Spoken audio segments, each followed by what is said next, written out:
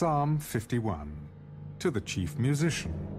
A psalm of David when Nathan the prophet went to him, after he had gone in to Bathsheba. Have mercy upon me, O God, according to your loving kindness. According to the multitude of your tender mercies, blot out my transgressions. Wash me thoroughly from my iniquity, and cleanse me from my sin. For I acknowledge my transgressions, and my sin is always before me.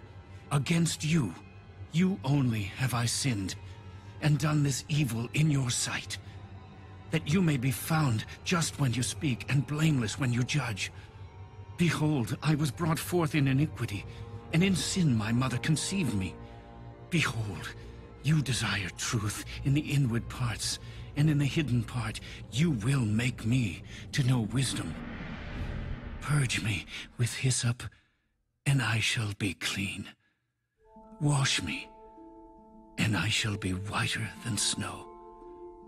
Make me hear joy and gladness, that the bones you have broken may rejoice.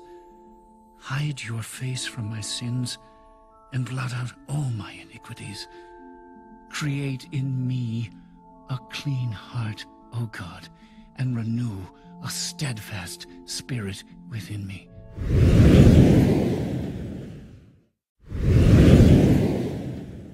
Friends, let's dive into Psalm 51 and look at a few verses more closely. There's a lot of rich language, rich Hebrew here.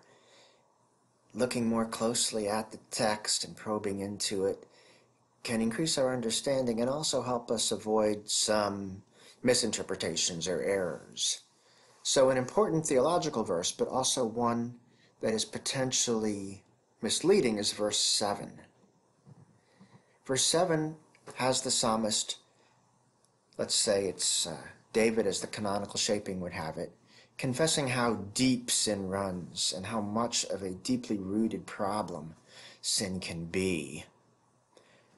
It is a notion clearly from a straightforward reading of the text of original sin, but it's original in the sense of its being a problem of the state of humanity. Universally, all humans are in a state of fallenness. It's not original in the sense that it's biologically passed on and it's certainly not original in the sense that somehow women and women's sexuality and the birthing process of women is somehow sinful. And yet some translations can give that impression. The New American Bible, the uh, modern Catholic version, is in danger of allowing that sort of reading. In sin, my mother conceived me. So the preposition here is the bait, in, in iniquity, in sin. But bait can mean something beyond just in. If you look at a syntax grammar like Williams Hebrew syntax, the third edition, section 248 gives other possibilities for the preposition bait. Not only in, but with, along with, accompanied by. The bait comitantia can indicate something that goes along with something else. So it could very well be not so much that my mother conceived me in a sinful act or with sinful thoughts, but surely I was sinful at birth, sinful from the time my mother conceived me. In other words, sin was there not because of birth or linked up with birth, but from that time and even before. What's more, that poetic seconding and deepening of the thought. Even long before I was even a living human being separate from the mother, even from the time of conception, this state of sin engulfed me, and I was part of those networks and spheres of sin that, that wrap us and ensconce us. So that's one point of looking at the Hebrew to get some closer and more nuanced understanding. Let's move to the next verse, verse 6 of Psalm 51. And this is much more positive. And of course, major theologians like Augustine and Luther knew this truth that although it's painful to talk about how dark and uh, original sin is, the flip side of that is how amazing and powerful and penetrating God's grace is. And we see that penetration right, right here. Yes, the psalmist admits, you, O oh God, you want truth, even in the most hidden places, no matter how deeply rooted sin may be.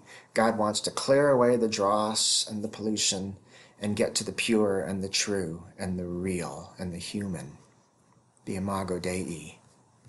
If we look at the Hebrew there, God is trying to get into the tuchot, the very most inwardness. The root behind the noun tuchot is tuach, which really means to keep on spreading layers over layers and coats, coat upon coat.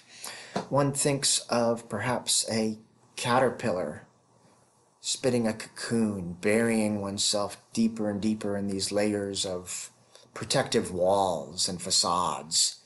And if one reads the text canonically and thinks of David and his increasing attempts to cover up, um, get Uriah to sleep with Bathsheba. When that doesn't work, have him murdered, lie about it, layer upon layer of cover up and trying to wrap oneself in, in protective coatings of denial. God can just take apart that cocoon and get to the real human. Whatever spark is left of humanity, that ember can be rooted out by God and fanned and blown back into a real human being, um, getting rid of all the falsity and the lies and the foolishness. God wants truth and truth from the inside out. And even if that means conceiving a new true life in the very depth, recovering that one ember and fanning that into something new and true and living, God will do that. And God can get into even the most secret space of the human being. That's how wonderful and powerful God's grace is. The Hebrew behind the term for secret place is a passive participle, implying that the soul has been stopped up, shut off, shut up, kept closed by an external force, a pride or an idol, something that is preventing human freedom, preventing the soul from popping the cork and experiencing true, solid, exuberant life.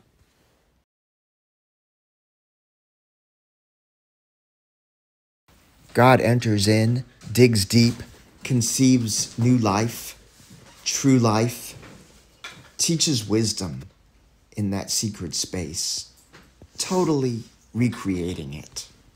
That is the message of Psalm 51.